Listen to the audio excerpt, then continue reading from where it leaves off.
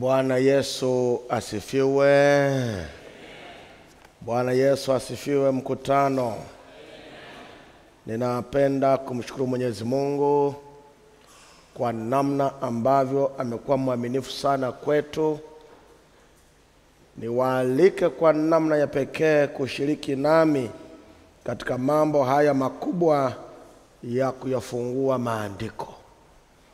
Tumekuwa na somo makini juu ya katiba ya mbinguni, na kwa sababu tulikuwa na ramani, ili uweze kusoma ramani lazima ujue kaskazini ni wapi, mashariki ni wapi, magharibi ni wapi na kusini. Lazima uwe na dira, uwe na kampas, na katiba ya mbinguni ndiyo muhimili, ndiyo kampas ya kwamba tuko sawa na tutasoma ramani na tutafika.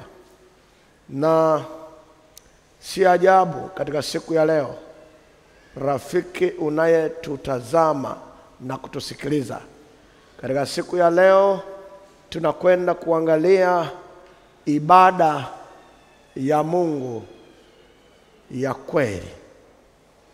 Ningekomea tu kusema ibada, ningekuwa sijatenda haki, kwa sababu ziko ibada nyingi, na watu ili wafike mbinguni wanatamani ibada ya Mungu ya kweli ifanye tofauti katika ibada nyingi ambazo tumezipokea mara kwa mara. Ibada ya Mungu ya kweli ndiyo somo letu la leo. Mungu aliye hai, aliyeviumba vitu vyote, ana ibada. Mtu baada ya kuumbwa kutoka kwa Mwenyezi Mungu muumbaji wake, baada ya kumfinyanga na akampulizia pumzi ya uhai, mtu akawa nafsi hai. Ile aliponyanyuka tu, uso wake ulikutana na uso wa muumbaji wake, na jambo la kwanza alilopewa ilikuwa ni ibada, kwa sababu maandiko yanasema katika Mwanzo mbili na fungu la kwanza, basi mbingu na nchi zikamalizika na jeshi lake lote, yaani kila kiumbe na vyote vinavyotakiwa vimekamilika. Alafu anasema na siku ya saba, na siku ya saba Mungu alimaliza kazi yake yote aliyoifanya, akastarehe siku ya saba, akaacha kufanya kazi yake yote aliyoifanya. Hata kabla sijaendelea, na kuonya wewe ambaye unasoma Biblia na kuongeza, unaongeza neno linasema ah, iwe ya kwanza, ya pili, siku ni siku. Acha mchezo wa kuongeza. Biblia iko clear kabisa, inasema na siku ya saba Mungu alimaliza kazi yake yote aliyoifanya akastarehe. Ehe, siku ya saba akaacha kufanya kazi yake yote aliyoifanya, akastarehe. Kibwagizo, siku ya saba akaacha kufanya kazi yake yote aliyoifanya. Kwa hiyo katika Mwanzo mbili tatu anasema Mungu akaibarikia siku ya saba. Angalia uandishi wa Biblia, soma ramani vizuri. Anasema Mungu akaibarikia, kibwagizo, siku ya saba, akaacha kufanya kazi siku ya saba, akastarehe siku ya saba. Alafu hapa hiyo siku hiyo akaibarikia. Sasa kwa maneno haya hatuwezi kuchagua siku yoyote wala kusema siku ni siku, la hasha, inafanya tofauti. Mungu akaibarikia siku ya saba. Akaitakasa, kwa sababu katika siku hiyo Mungu alistarehe. Anatoa na sababu kwa nini ameichagua siku ya saba, kama tunavyosoma katika kipindi cha ndoa, tukasikiliza cha familia. Mtu anachagua mke, ana sababu zake. Walikuwa wasichana wengi, akaselekti mmoja. Sasa uwezi ikaja siku ya ndoa ukamwambia msichana ni msichana, mwanamke ni mwanamke, tunaona huyu amechelewa, chagua yoyote. Hapa hapa ndio panaumwa. Yaani mimi nimechagua huyu, alafu niambie chagua yoyote. Mungu akaibarikia siku ya saba, namba moja, akaitakasa na anatoa sababu, kwa sababu katika siku hiyo Mungu alistarehe, akaacha kufanya kazi yake yote aliyoiumba na kuifanya.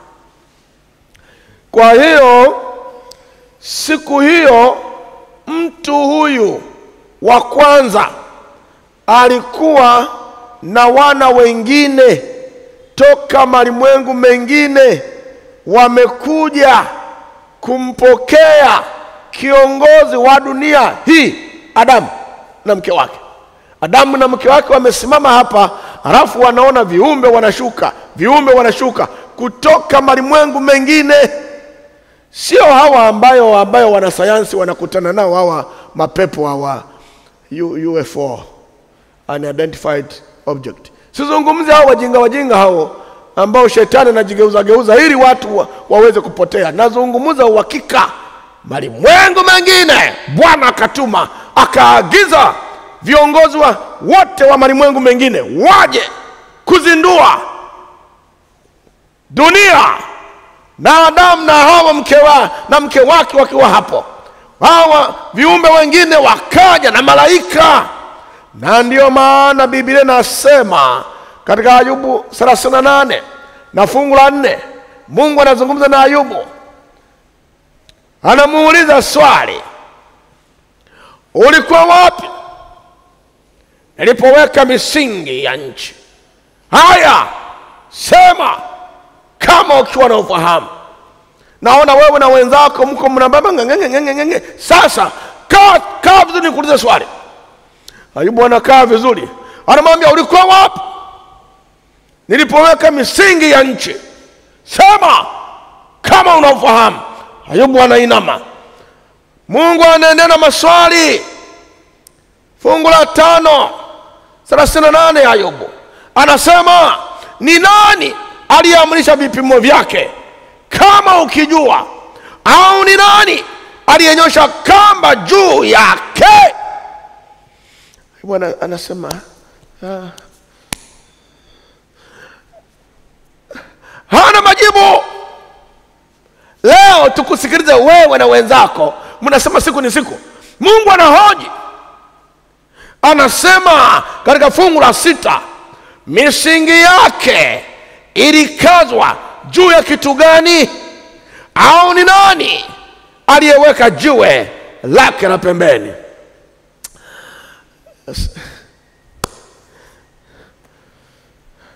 Kuna Elifazi Mtemani, kuna mwana wa mbuzi, wako marafiki watatu na kijana mmoja, na Ayubu ni watano, wote hawana majibu.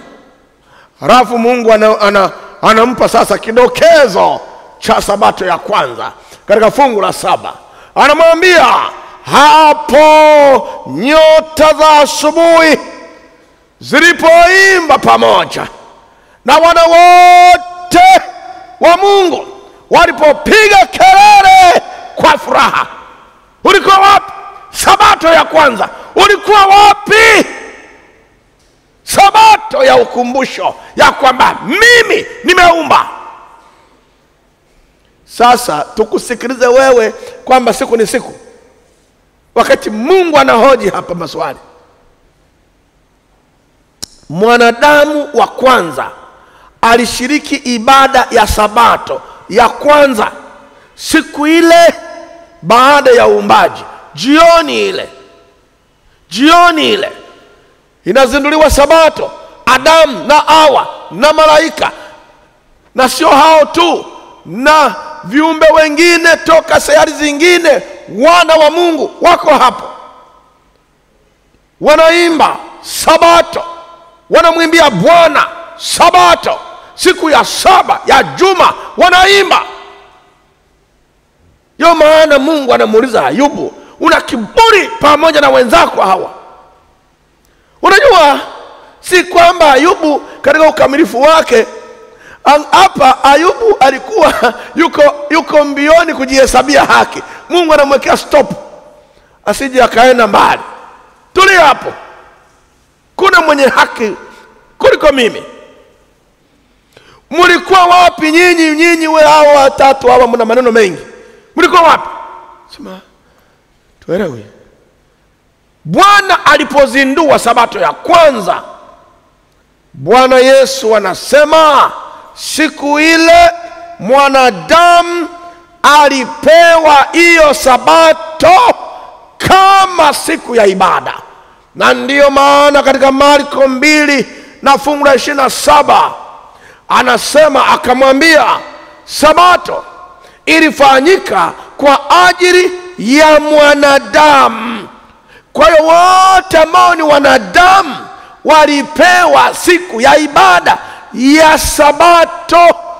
Sasa wengine punda, ngamia, nyati watatunza sabato kwa sababu mwanadamu anatunza sabato au wanakaa naye, lakini sabato haikuumbwa kwa ajili yao. Sasa mwanadamu akitaka kujiondoa kwenye ubinadamu anavunja sabato, anakuwa sawa na wanyama wengine.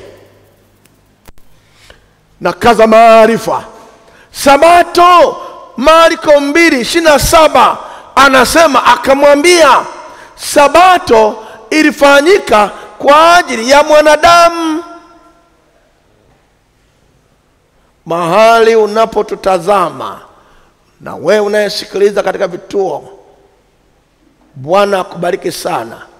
Nitoe kawito kadogo tu, kama wewe ni mwanadamu huko Kizingo na sehemu zingine, nyosha mkono wako. Kama ni mwanadamu, kama ni mwanadamu, nyosha mkono wako, nyosha kabisa hivi, ijulikane kwamba wewe ni mwanadamu. Wewe ndiye ulipewa Sabato.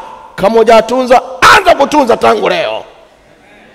Kuku, ngamia hawakupewa Sabato. Narudia, mtu akishaanza kuvunja Sabato amejiweka kwenye levo ya wanyama, na ndiyo maana tangu wanadamu walipovunja Sabato elimu yao iko corrupted.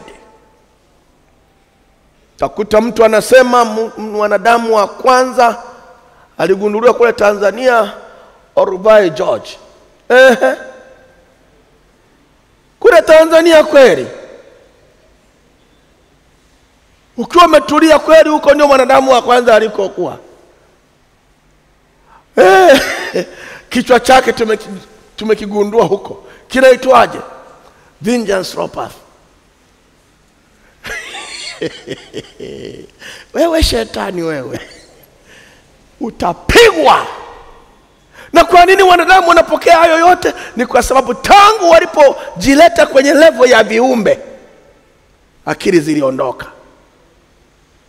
na ndiyo maana yako mengi yanayotokana na kuvunja Sabato, ni pamoja na, kus, na kusahau origin yako na jinsia yako ukaisahau. Maana Warumi ile moja anasema waliacha kuwa na akili wakawa na za wanyama, ndipo wakawakiana tamaa wao. Kwa nini? Kwa wao. Yaani tangu Sabato ilivyovunjwa, hata ile ile kujitambua mimi ni mwanaume, nayo siku zinavyoendelea inapotea. Kujitambua mimi mwanamke inapotea. Unaona binti na binti na mwenzake wako hapo wanafungisha ndoa, maana Sabato walishaivunja, kujitambua hakupo. I take V, you are taking whom? Msichana mwenzako, akili mbovu. Kwa sabato ina malengo, malengo ni kuturejeshea. Bwana Yesu anadai kwamba yeye mwenyewe ndiye ameitoa kwa mtu. Hayo ndio madai ya Yesu. Yeye mwenyewe ndiyo ameitoa kwa mwanadamu. Ndiyo maana katika Marko 2:28 anasema basi mwana wa Adamu ndiye Bwana wa Sabato pia, ndiye mumiliki, ndiye mwenye atimiliki, ni ya kwake, ndiye alitoa.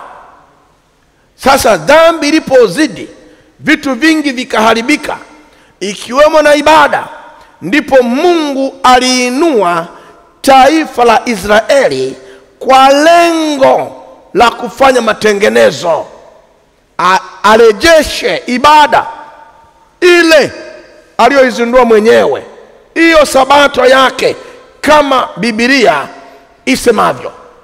Siwezi kurejea kwenye kisa cha wana wa Israeli, tutahitaji muda mwingi, lakini bibilia ina samare ya kisa hicho, na kazi ya mhubiri huyu ni kukuonyesha usipotee. Sikiliza watu wa Mungu, tunakwenda kusoma fungu ambalo litaondoa mashaka yote, maana Yesu amesema ni yangu. Sasa akisema ni yangu, wale wanaokataa kwamba sio Mungu wataanza kusema "Ah, hi- hi- hiyo ni ya Mungu, sio ya Yesu. Sasa nakuambia black and white, Yesu ni Mungu. Soma maandiko sasa, nikuthibitishie. Nenda Warumi tisa. Leo tumeanza ile misumari ya moto, ile ya kawaida tumeacha, ambayo imepita kwenye moto ili iweze kutoboa mti uliokwisha mkuwa mgumu sana. Dunia imekwisha pofuka. Nenda Warumi tisa, naanza fungu la kwanza. Anasemaje? Nasema kweli katika Kristo, sisemi uongo, dhamiri yangu ikinishuhudia katika Roho Mtakatifu ya kwamba nina huzuni nyingi na maumivu yasiyokoma moyoni mwangu. Tufanye ufupisho wa haya mafungu mawili, tufanye summary ya mafungu mawili. Moja, anasema kinachosemwa ni kweli. Mbili, anasema kinachosemwa sio uongo. Tatu, kinachosemwa kimevuviwa na Roho Mtakatifu. Hey, neno fungu la tatu kwa maana ningeweza kuomba mimi mwenyewe niharimishwe na kutengwa na Kristo kwa ajili ya ndugu zangu, jamaa zangu, kwa jinsi ya mwili. Tufanye ufupisho. Paulo anawatambulisha wale waliopewa ibada sahihi ya Mungu aliye hai na mifumo yake. Mm.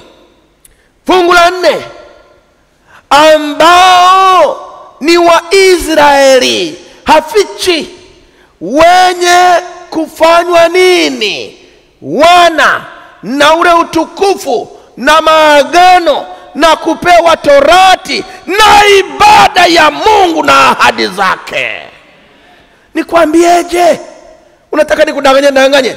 Huwa sijui kudanganya. Ngoja tufanye ufupisho wa mafungu hayo ma, la tatu na la nne. Kwanza, Waisraeli wamefanywa wana wa Mungu. Mbili, waliona utukufu wa Mungu kwenye mlima wa Sinai aliposhuka tangaze. Tatu, ndio waliopewa maagano, mbao mbili za maagano zenye amri za Mungu ikiwemo na Sabato. Nne, walipewa torati, mfumo wa ibada. Mwisho na tano, walipewa ibada ya Mungu. Sita, ahadi zake. Sasa unamsikia mtu anazungumza eh, unajua hao ni hao wa Sabato eh, ni Wayahudi, Wayahudi, Waisraeli hao wanafanya mambo ya Waisraeli. Tutaendelea kuyafuata mpaka tutoboe. turudi nyumbani maana biblia nasema hao waisraeli moja wamefanywa wana mbili wamepewa utukufu tatu maagano tano nne torati tano ibada ya mungu aliye hai ya kweli ya milele na sita ahadi zake. Kwa hiyo hayo maneno yatumia uwe, uwe unayatumia bila kujua. Sasa twende katashoka yaani pale penye kilo nyingi fungu la tano. Nataka fungu la tano ndugu mtazamaji msomaji soma kwa taratibu. Anasema ambao hawa waisraeli ambao moja mababu ni wao. Unaposema mababu ibrahimu isaka yakobo. Hapo hakuna chamo chache sijui mwita sijui hakuna. Ibrahimu isaka yakobo. Na katika hao alitoka nani? Kristo kwa jinsi ya nini? Ya mwili. Full stop. Endelea endelea uone katashoka yake. Ndiye aliye juu ya mambo yote na yeye mwenyewe ni nani? Mungu mwenye kuimidiwa milele na watu wote waseme amina. Nimemaliza samari ya kuingia mbinguni ubatizwa kanisa hili usiangaike unaona mpangilio? Unaona mpangilio? Unaona mpangilio? Humu kwenye mpangilio wa ibada humu ndimo amezaliwa kristo. Humo humo ndimo kuna ibada. Humo humo ndio kuna torati humo humo mifumo yote. Na huyo yesu aliyezaliwa humo kwa mwili ndiye ameitwa nani hapa? Mungu. Kwa hiyo tukisema yesu ni mungu na wamemwita mungu ninaendelea kwa ushujaa. Yesu mungu. Maandiko. This is the power of the word. You don't have the scripture you have no power to speak but you have a scripture. You have a power to speak. So jesus christ is a divine son of god. And he himself is god. He is the one who gave the sabbath. Nani kudanganya nini? Sabato aliitoa mwenyewe. Nao kama unasema ni mkristo unavunja sabato. Ambayo ameitoa mwenyewe utakutana naye. Anakuuliza hiyo uliitoa wapi? Eh, kuna wainjilisti walikuja wana mikutano wana makusanyiko makubwa. Anakuambia nilikuwa nakwenda kwa makusanyiko makubwa. Ndio maana nasema sasa hivi ni msumari wa moto. Amesema mababu ni wao ambao ni ibrahimu isaka na yakobo. Kristo amezaliwa humo.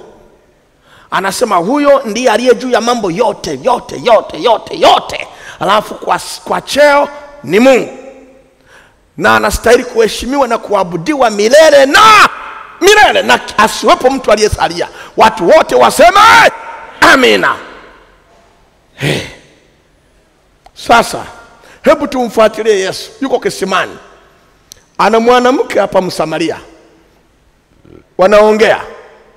Tunamfuatilia yesu sasa ili adhibitishe kama hiyo dini inayotoka kwa wayahudi ndio yenyewe yesu anamwambia mwanamke kisimani kwamba ibada ya kweli wamepewa wayahudi hapa yesu anajiidentify na wayahudi angalia yohana 4 fungu la 22 yohana 4 22 anasema nyinyi mnaabudu msichokijua eh, haya maneno ni magumu anamwambia mwanamke msamaria nyinyi mnang'ang'ana na mnaabudu msicho kijua yaani angalia hapa hapa hakuna vya najua kunena kwa lugha.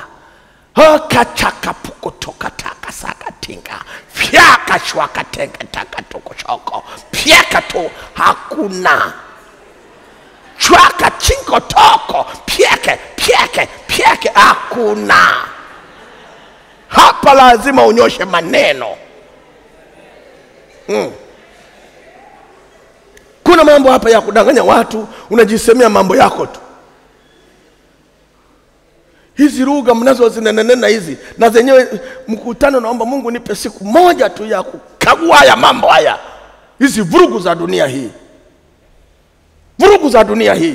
Yesu anasema nyinyi mnaabudu msichokijua, sisi tunaabudu tukijuacho, kwa kuwa wokovu watoka kwa Wayahudi. Yaani Yesu mwenyewe kama Myahudi anasema tunaabudu tunachokijua, wokovu ni humu mm.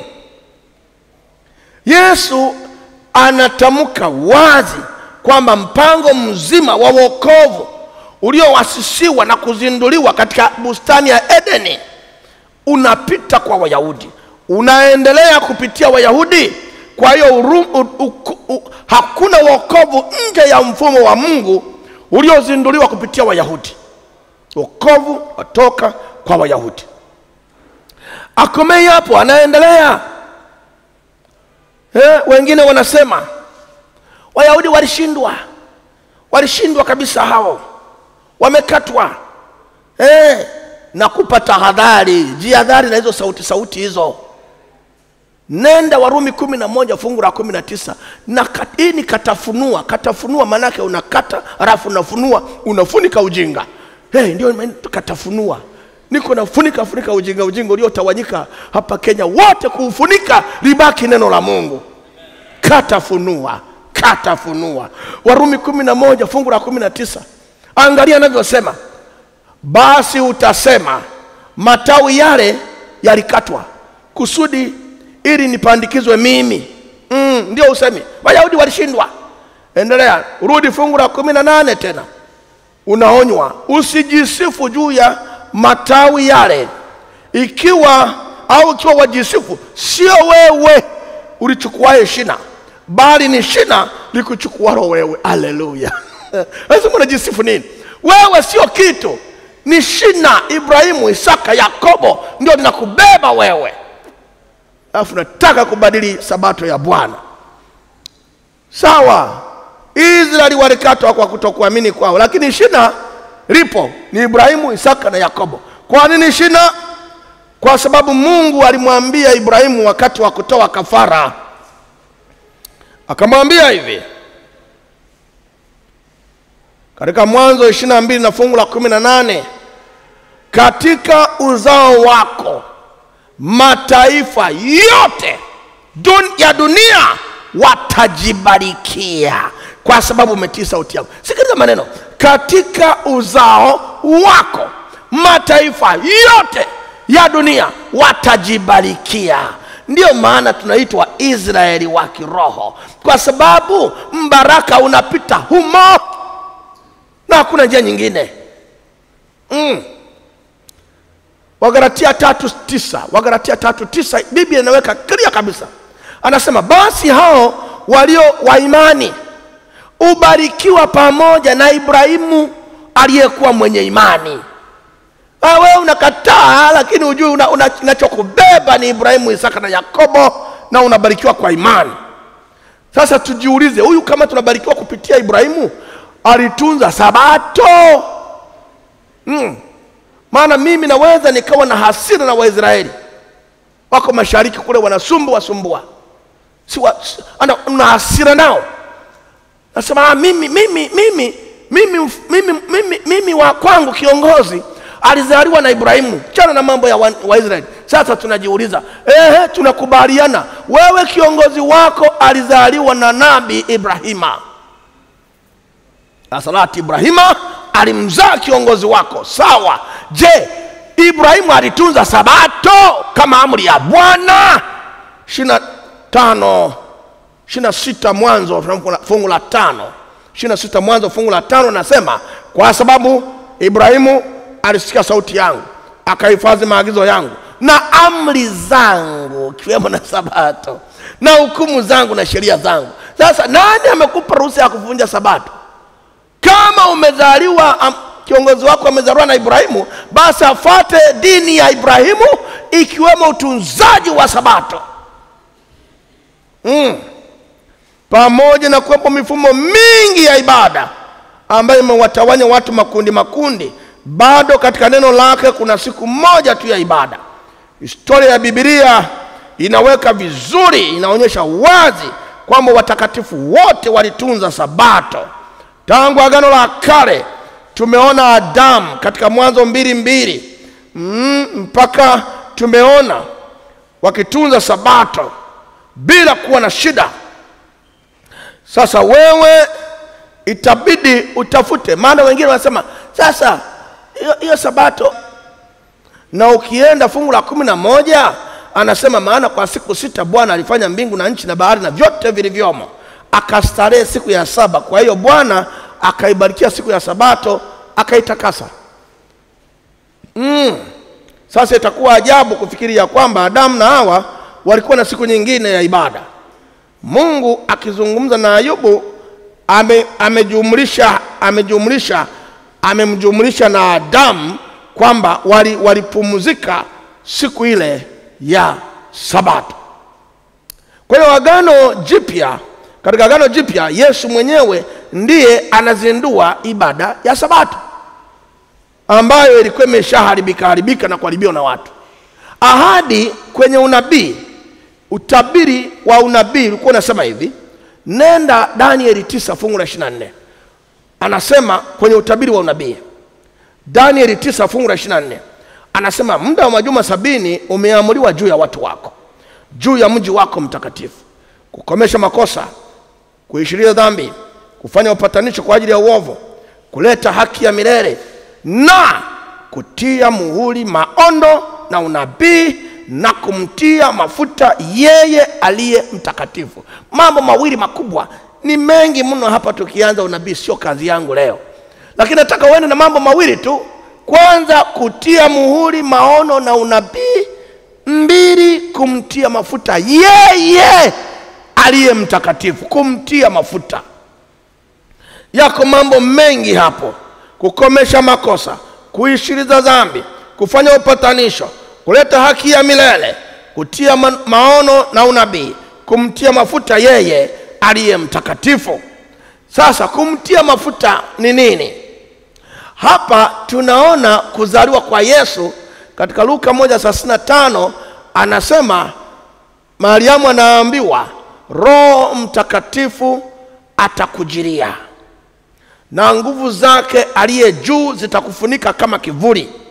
Kwa sababu hiyo kitakachozaliwa kitaitwa kitakatifu, mwana wa Mungu, kitaitwa kitakatifu. Kwa hiyo anayezaliwa hapa ndiye mtakatifu kwa kuzaliwa, kwa kuzaliwa ndiye mtakatifu kwa kuzaliwa. Hana mwelekeo wala mvuto wowote wa dhambi. In him there was no amaratia, ndani yake akukuwa na dhambi. Ana mvuto huyu Yesu Kristo. Na ukisoma Luka mbili ishirini na tano na ishirini na sita anasema, tazama pale yerusalemi palikuwa na mtu jina lake Simioni, naye ni mtu mwenye haki, mcha Mungu, akitarajia faraja ya Israeli, na Roho Mtakatifu alikuwa juu yake, naye alikuwa ameonywa na Roho Mtakatifu ya kwamba ataonja mauti kabla ya kumwona Kristo wa Bwana.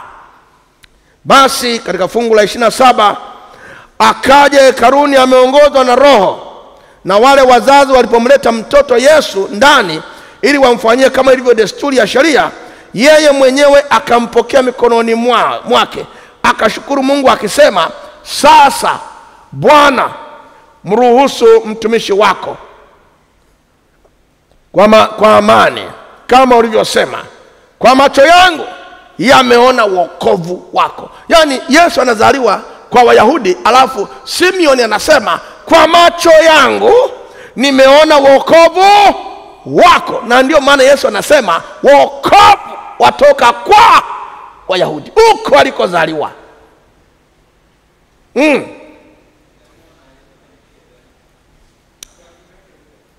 Katika Luka mbili thelathini na moja na thelathini na mbili anasema uliowekwa tayari machoni pa watu wote, nuru ya kuwa mwangaza wa mataifa, kwa kuwa utukufu wa watu wako, kuwa utukufu wa watu wako. Ndio maana ile Warumi ndani yake kuna utukufu, ndani yake kuna mataifa, kwa kuwa umo ndimo anapokuja kuzaliwa Kristo ambaye ndiye asili na chimbuko la wokovu. Unabii umetimia. Sasa Yesu katika Mathayo kumi na Mathayo tatu kumi na sita hapa Yesu anabatizwa na anatoka majini, anamwona Roho anakuja juu yake, na fungu la kumi na saba malaika anazunguka anazungumza kutokea mbinguni. Mungu anazungumza kutokea mbinguni, Baba, huyu ni mwanangu mpendwa, nipendezwae naye. Roho Mtakatifu ameshuka juu ya Yesu. Ukienda kwenye Luka nne moja anasema na Yesu ali amejaa Roho Mtakatifu, alirudi kutoka yordan akiongozwa na Roho muda wa siku arobaini nyikani.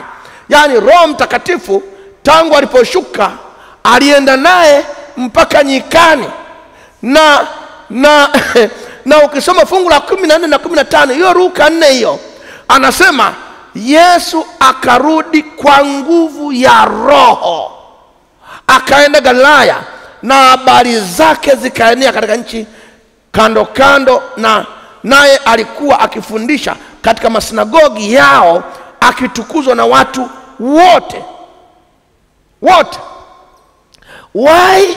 Roho Mtakatifu yuko juu yake, na hapa ndipo naenda kwenye fungu la kumi na sita anasema sasa Yesu anakwenda kuzindua Sabato. Akaenda Nazareti hapo alipolelewa, na siku ya Sabato akaingia katika sinagogi kama ilivyokuwa desturi yake, akasimama ili asome. Unajua, unaweza ukasoma maneno ya kwa sababu umeyazoea. Haya sio mepesi haya. Katika fungu la kumi na saba akapewa chuo cha nabii Isaya, akakifungua chuo, akatafuta mahali palipoandikwa Roho wa Bwana yu juu yangu, kwa maana amenitia mafuta kuwahubiri maskini habari njema, amenituma kuwatangazia wafungwa kufunguliwa kwao, na vipofu kupata kuona tena, kuwaacha huru waliosetwa, na kutangaza mwaka wa Bwana uliokubaliwa. Anapomaliza kusoma, ukisoma fungu la ishirini na mbili mpaka ishirini na mbili anasema akakifunga kile chuo, akamrudishia mtumishi akaketi na watu wote waliokuwemo katika sinagogi wakamkazia macho. Unajua eh, mahali aliposoma alikuwa anasoma Isaya sitini na moja kianza fungu la kwanza na kuendelea, ndipo Yesu alikuwa anasoma Isaya sitini na moja. Kwa Wayahudi ilikuwa aisomi wakati wowote, ilikuwa inasubiriwa ije isomwe na Masihi. Kwa hiyo utasoma kote, lakini saa sitini na moja imeikuwa imehifadhiwa kwa ajili ya Masihi. Sasa siku hii Yesu alipopewa chuo akafungua Isaya sitini na moja, alipoanza kusoma, unaweza ukaona walimu wa dini, walimu wa dini wa, wanamwambia aliyempa chuo Hey, maana yake mzuie, anasoma sehemu ya Masihi, anasoma sehemu ya Masihi, fanya haraka umzuie. Maana eneo analosoma wa, wa, wanazuoni wa bibilia mnaelewa, mahali anaposoma ni mahali ambapo pamehifadhiwa siku Masihi akija, maana walikuwa wanasubiri ashuka kutoka mbinguni, atakuja kusoma hapa. Sasa jamaa anayetoka Galilaya Mnazareti ndiye anaposoma. Viongozi wale wana yule naye ameshindwa, maana malaika ukisoma mahali hapa wa, wanazuia, maana anayesoma ndiye mwenyewe. Sema haleluya kwa hilo, anayesoma ndiye mwenyewe. Hey, siku hiyo alikuwa kwenye ibada ya siku ya Sabato, sio Jumapili wala Ijumaa. Hiyo imeenda siku hiyo ya usomaji eneo hili ambalo wanasubiriwa Masihi asome. Yesu alilichagua kulisoma siku ya ibada, siku ya Sabato, siku ya Bwana, siku ya utakatifu wake, siku aliyoitoa yeye mwenyewe kwa ajili ya mambo matakatifu. Na alipomaliza kusoma, akamrudishia mtumishi kitabu, aangalia fungu la ishirini na moja. Wote wamemkazia macho jamaa amesoma kwa makosa hapo, labda nataka kuomba samahani. Aombe samahani ya nini? Aliyesoma ndiye mwenyewe. Angalia fungu la ishirini na moja, akaanza kuwaambia haleluya, leo maandiko haya yametimia masikioni mwenu. Haleluya! Wakamshuhudia wote, wakastajabia neema iliyotoka kinywani mwake, wakasema huyu si mwana wa, si mwana wa Yusufu? Ndio yeye, ndio yeye. Unajua, alichagua siku ya Sabato kwa sababu rasmi alikuwa ametimiza unabii na amezindua, na Roho Mtakatifu alikuwa juu yake na ametiwa mafuta, na mitume waliofuata walitunza Sabato.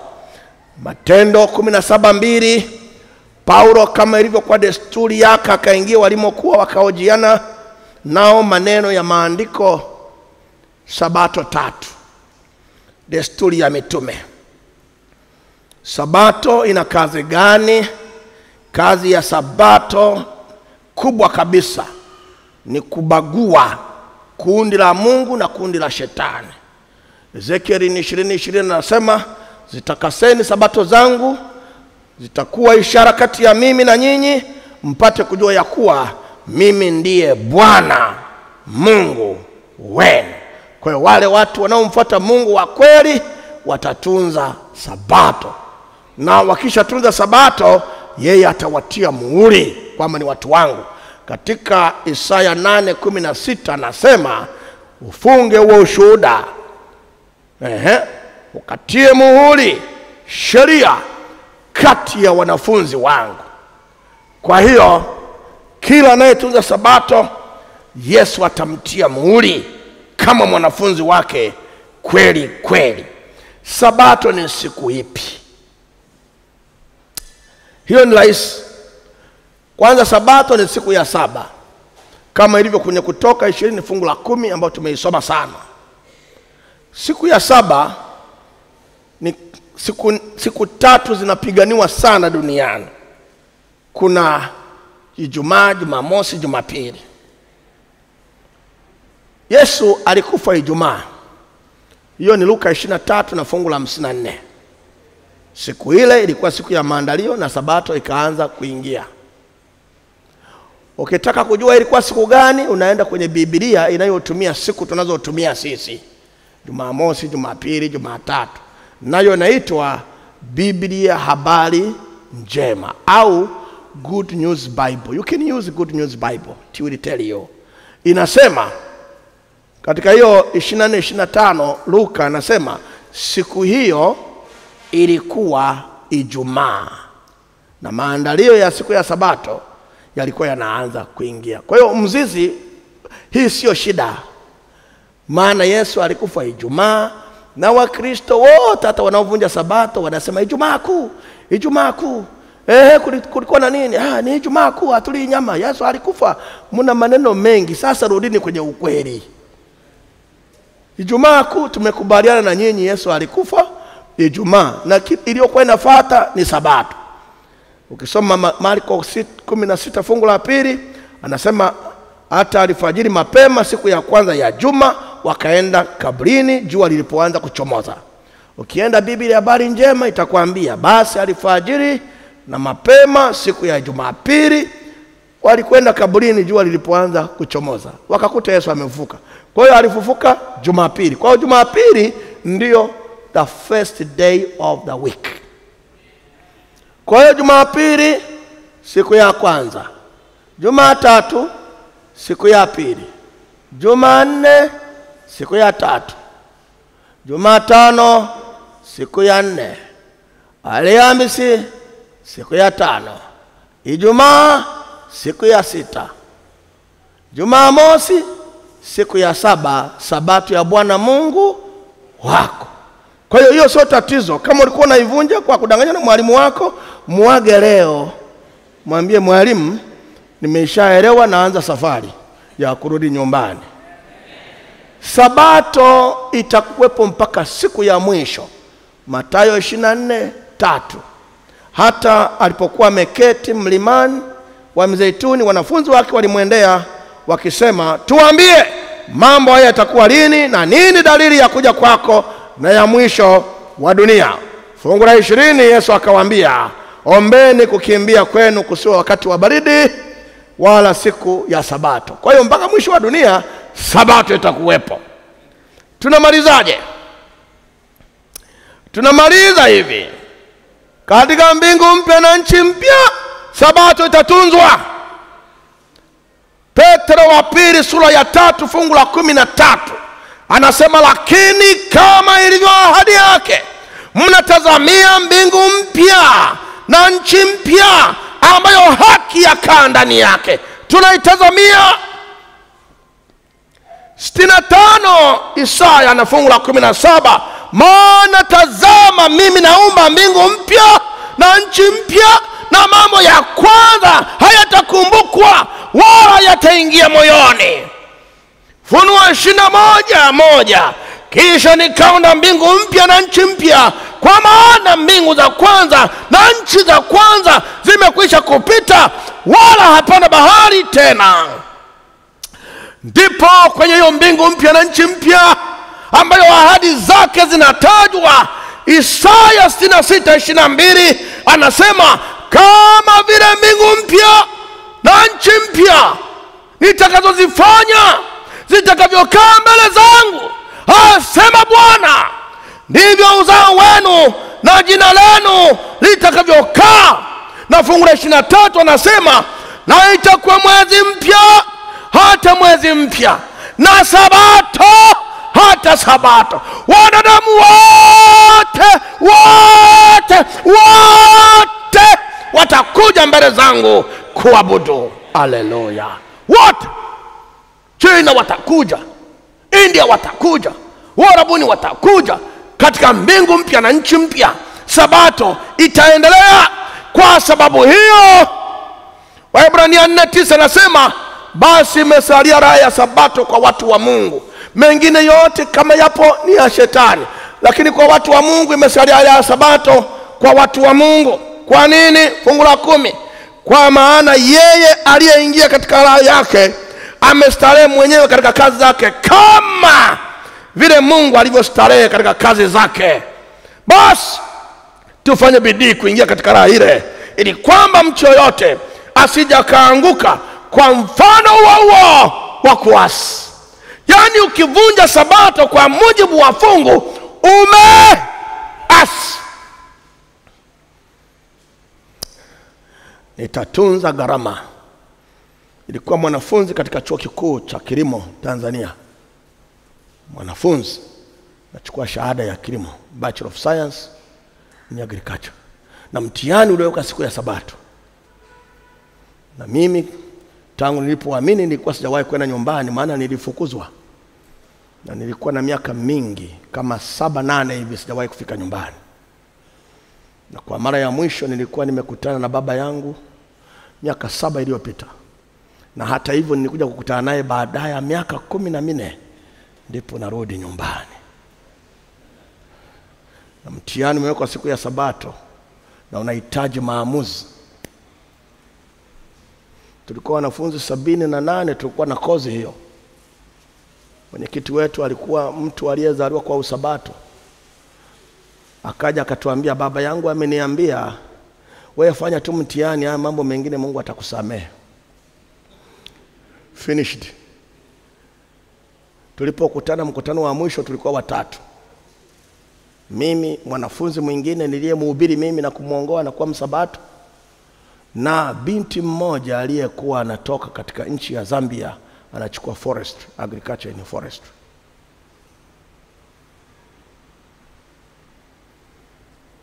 Sasa ilikuwaje? Ndio maana natunza sabato mpaka leo. Watu wengine mnafikiri kutunza sabato ni kazi nyepesi. It's not easy. Katika moyo wako, katika dhamiri yako ya ndani, amua kutunza sabato. Amua ya kwamba sitavunja sabato kwa gharama yoyote ile. Tunza sabato kwa gharama yoyote ile. Mpaka saa ya mwisho nakuwa msabato, nimeamua kutunza sabato, nilipoteza kila kitu. I lost everything, na sikujua itakuwaje. Leo sijuti. I'm not repenting because I kept the Sabbath. maana hata niliosoma nao wengine walishindwa. Tukikutana nao wanasikia daktari Nzungu they felt Unapomwinua Bwana na kuinua, nawaalika kwa namna ya pekee muwe tayari kutunza sabato kwa gharama yoyote. Nione wale ambao wanasema we shall keep the Sabbath at any cost. We will keep the Sabbath at any cost. Just raise up your hand. Stand with me. Simama pamoja nami. Hawa wameamua kutunza sabato kwa gharama yoyote ile. At any cost we shall keep the Sabbath. Sio we will keep the Sabbath. We shall. It is a must. It's obligation if you want to, to return home. If you want to receive eternal life, keeping the Sabbath is not optional. It's a must. Bwana akubariki.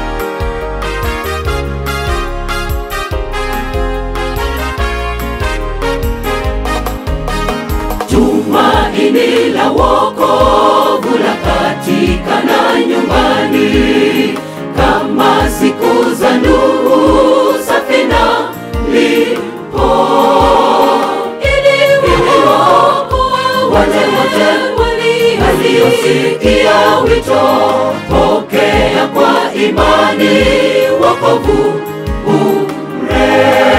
sauti yake Bwana yatuita kwa upole, niongoze nishike mkono Yesu Bwana,